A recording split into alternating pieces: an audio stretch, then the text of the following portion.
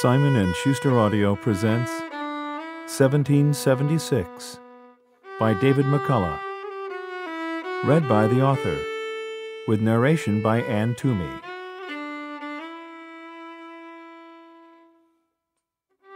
The reflection upon my situation and that of this army produces many an uneasy hour, when all around me are wrapped in sleep. Few people know the predicament we are in.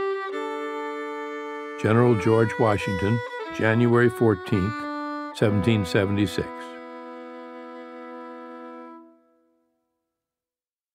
Sovereign Duty On the afternoon of Thursday, October 26, 1775, His Royal Majesty George III, King of England, rode in royal splendor from St. James's Palace to the Palace of Westminster, there to address the opening of Parliament on the increasingly distressing issue of war in America. The day was cool, but clear skies and sunshine, a rarity in London, brightened everything and the royal cavalcade, spruced and polished, shone to perfection. In an age that had given England such rousing patriotic songs as God Save the King and Rule Britannia, in a nation that adored ritual and gorgeous pageantry, it was a scene hardly to be improved upon. An estimated 60,000 people had turned out. They lined the whole route through St. James's Park. At Westminster, people were packed solid, many having stood since morning, hoping for a glimpse of the king or some of the notables of Parliament. So great was the crush that latecomers had difficulty seeing much of anything. One of the many Americans then in London, a Massachusetts loyalist named Samuel Curwen, found the mob outside the door to the House of Lords too much to bear and returned to his lodgings. It was his second failed attempt to see the king. The time before, his Majesty had been passing by in a sedan chair near St. James's, but reading a newspaper so close to his face that only one hand was showing. The whitest hand my eyes ever beheld, with a very large rose diamond ring, Loyalist Curwen recorded. The King's procession departed St. James's at two o'clock, proceeding at walking speed. By tradition, two horse grenadiers with swords drawn rode in the lead to clear the way followed by gleaming coaches filled with nobility, then a clattering of horse guards, the yeomen of the guard in red and gold livery, and a rank of footmen also in red and gold. Finally came the king in his colossal golden chariot, pulled by eight magnificent cream colored horses, Hanoverian creams, a single postilion riding the left lead horse, and six footmen at the side. No mortal on earth rode in such style as their king, the English knew. Twenty four feet in length and thirteen feet high, the royal coach weighed nearly four tons, enough to make the ground tremble when under way. George III had had it built years before, insisting that it be superb. Three gilded cherubs on top, symbols of England, Scotland, and Ireland, held high a gilded crown while over the heavy spoked wheels, front and back, loomed four gilded sea gods, formidable reminders that Britannia ruled the waves.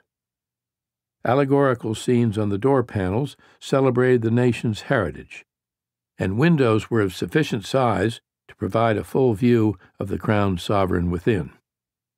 It was as though the very grandeur, wealth, and weight of the British Empire were rolling past, an empire that by now included Canada, that reached from the seaboard of Massachusetts and Virginia to the Mississippi and beyond, from the Caribbean to the shores of Bengal.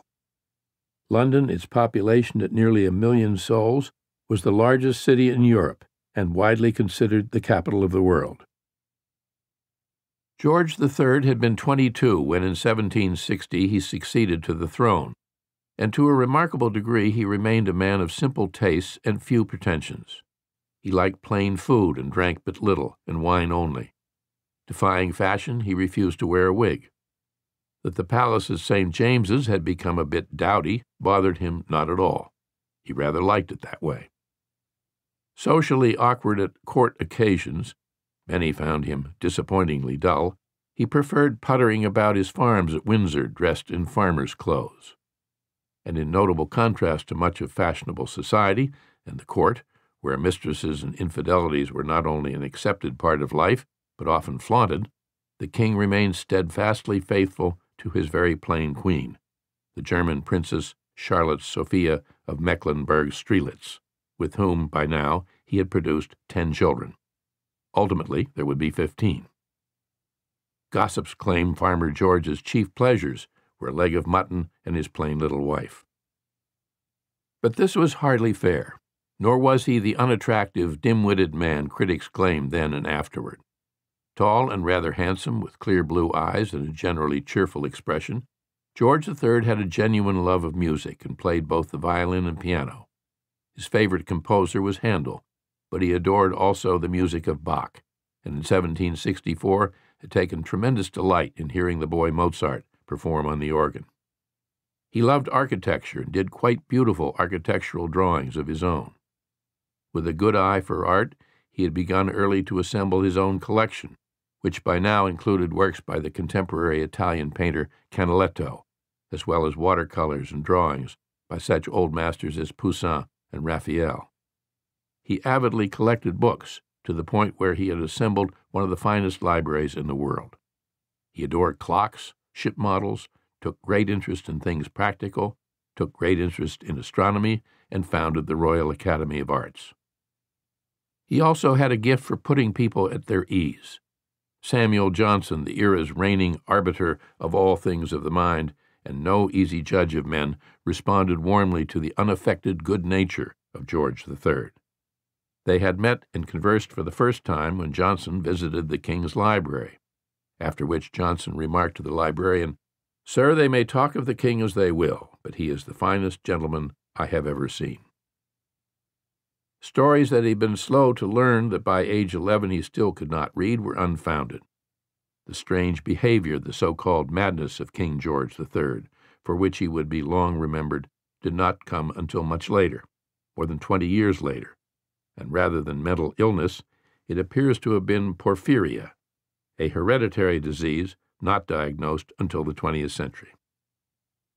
Still youthful at 37 and still hard-working after 15 years on the throne, he could be notably willful and often short-sighted. But he was sincerely patriotic and everlastingly duty-bound. George, be a king, his mother had told him.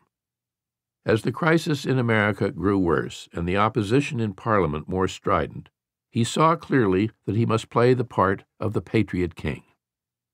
He had never been a soldier, he had never been to America, any more than he had set foot in Scotland or Ireland, but with absolute certainty he knew what must be done.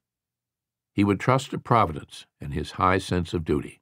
America must be made to obey. I have no doubt but the nation at large sees the conduct in America in its true light, he had written to his Prime Minister, Lord North. And I am certain any other conduct but compelling obedience would be ruinous, and, therefore, no consideration could bring me to swerve from the present path, which I think myself in duty bound to follow. In the House of Lords in March of 1775, when challenged on the chances of Britain ever winning a war in America, Lord Sandwich, First Lord of the Admiralty, had looked incredulous. Suppose the colonies do abound in men, what does that signify? he asked. They are raw, undisciplined, cowardly men. And Lord Sandwich was by no means alone in that opinion.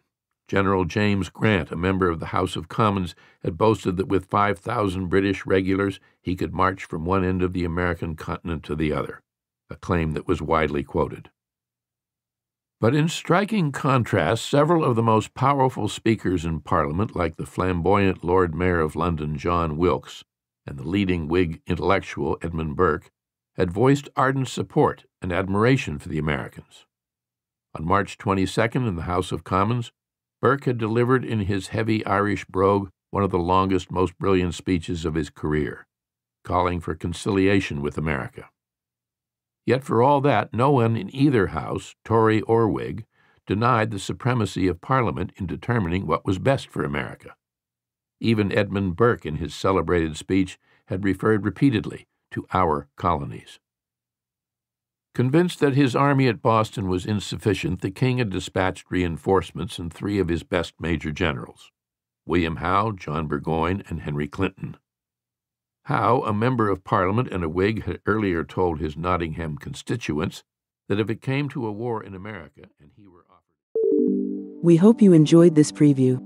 To continue listening to this audiobook on Google Play Books, use the link in the video description.